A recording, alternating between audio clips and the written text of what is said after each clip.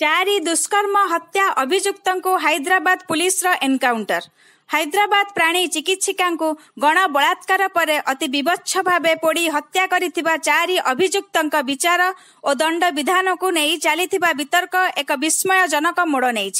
शुक्रबार भोर समय अभियुक्तको बलात्कार हत्यास्थलको बेले पुलिस सहित संघर्ष विनिमय समस्त अभियुक्त मृत्यु घटि यहाँ स्थानीय लोक